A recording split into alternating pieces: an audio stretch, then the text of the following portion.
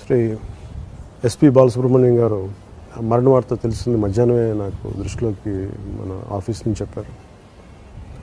ఆయన కోవిడ్ బారిన పడి కోలుకుంటున్నారు అంతా బాగానే ఉందని అని చెప్పిన వెంటనే నేను కూడా ఆయనకి త్వరగా కోలుకోవాలని నేను ఆకాంక్ష నేను తెలియజేశాను. అలాగే సినీ చిత్ర పరిశ్రమ ప్రతి ఒక్కరు కూడా దేశం మొత్తం ఆయనకి త్వరగా కోలుకోవాలని ఆశించారు. కానీ దురదృష్టవశాత్తు ఆయన కోవిడ్ బారిన పట్టు నిజంగా చాలా బాధగా ఉంది చాలా మనసుని కలిచివేసింది. ఆయన సినిమాలకు సంబంధించిన వరకు ఆయనకు నా సినిమాలో కూడా ఆయన గళం ఇవ్వటం అలాగే వారంటే నాకు చాలా ప్రత్యేకమైన గౌరవం ఉంది. చిన్నప్పటి నుంచి చూసిన వాడిని ఆయన. ఆయన ఇలాంటి స్థితిలో ఆయన పోవటం చాలా చాలా బాధగా ఉంది. వారి కుటుంబ సభ్యులందరికీ నా ప్రగాఢ సానుభూతిని తెలియజేస్తుంది